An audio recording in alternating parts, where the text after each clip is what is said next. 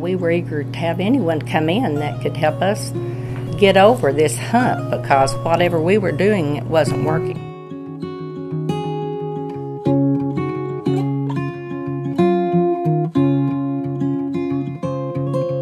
We were looking at, wasn't it nine, nine heel wounds when we first started.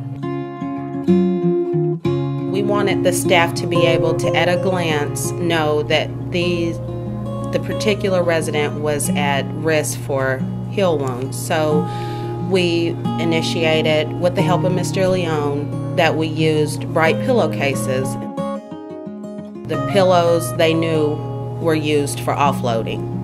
And so once we did that, we did it neighborhood by neighborhood, and we had an in service with our CNAs to let them know how to use the boot and what the pillowcases were exactly for. One of the things that we learned in this whole process was the word offloading. And a lot of our CNAs didn't understand what offloading meant. And so during the in service that we give the CNAs and the nurses, um, we explained because we would ask them, Did you offload their heels? And they were like, What? And so we had to explain the actual term offloading to them and uh, let them know that that was actually to get their heels off the bed and off their pressure points. And it was like the light bulb just turned on being open to what was suggested and what he said, and everybody just jumping on board and saying we can make this change, I think is what turned it around for us.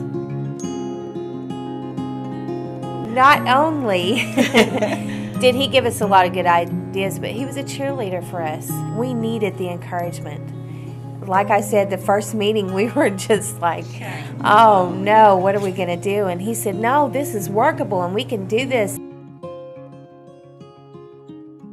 Set small goals for yourself because at that point we were like, they're going to see us with nine wounds and they're never going to heal, and what are we going to do? And one of the things that he said was, give two week goals. Give yourself two weeks and make that a goal and, and maybe decrease in size by a half a centimeter and just do one hole at a time. And so when we started to do that, that's what made our morale boost and got our wheels turning again. And so just by having him in here and the company in here has I mean, it's boosted us and he's given us a lot of good ideas. A lot. Every morning um, around 10 o'clock, we have a what we call a stand up meeting, and that's when the charge nurses, the nurse managers, the administrator, the wound nurse, everyone gets together in the morning for about 30 minutes.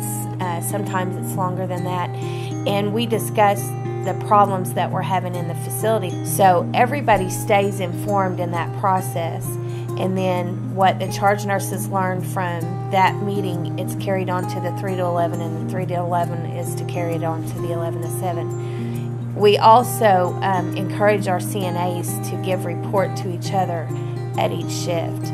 So maybe a wound was found that day, and the CNA can then pass it on to the next shift and say, We got this wound now, and so they carry it on throughout the shift. So we do have that stand up meeting every morning, and, and it's been really beneficial. And it keeps everybody in the loop.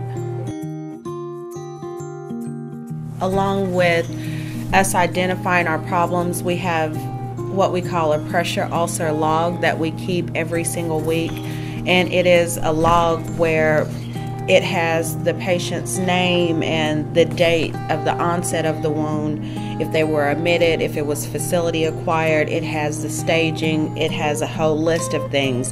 When the doctor was notified and the day the family was notified. And we do this every single week. I think the biggest benefit is is I can look at this sheet versus having to go to Amar and flip through every page. I can look at a sheet and I can see the measurements of the wound. I can see if it's increased in depth or if if it ha- if it's doing better. I can I know everything about that patient just by looking at this one sheet versus trying to figure out all the information and go different places. One of the things that um, Debbie Debbie has put into place is keeping nurses aides on the same hall. That way, if they work the uh, Hummingbird Cove, we want them to work that every day, every time they're here. That way, they know the resident and it, it becomes a little more personal to them and they can give that individualized care because they actually know the individual that lives here. We didn't just look at their heels either. We were looking at every part of their body to make sure they weren't breaking down somewhere else. So, I mean, lab work, Doppler studies, nutrition, uh, treatments, to the wounds themselves. We, we just looked at the whole picture to make sure that we were um, involving everything. You can do a treatment every day, but if they're not eating, it's it's not going to do a lot of good if they're not getting the right nutrition.